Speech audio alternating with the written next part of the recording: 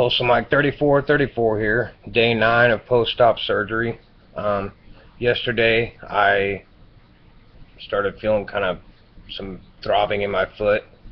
And every time I stood up to go to the bathroom. And uh, today, I... Uh,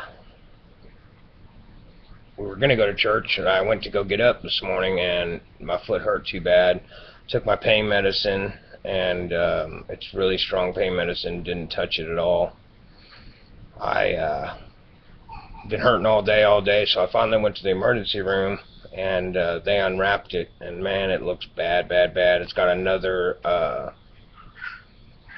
blood clot in it, which is also known as a uh, crap. What do you call it? Anyway, hematoma. There you go. And uh, so tomorrow morning, um, they gave me a shot, 10 cc's of morphine when I was at the emergency room today, and uh, didn't touch it, didn't do nothing. And so, as soon as I get up in the morning and the doctor's, my foot doctor opens, I'm going to call them and I'm going to get an appointment. They're going to go in and drain it again. It's going to freaking hurt bad because, uh, and I'm going to try to videotape that so y'all can laugh at me screaming because uh, Novocaine doesn't work on me, so I have to just sit there and take it. Anyway, uh, that's my podcast for today, and uh,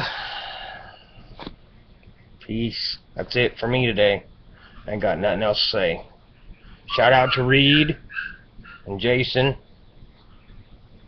I'm out.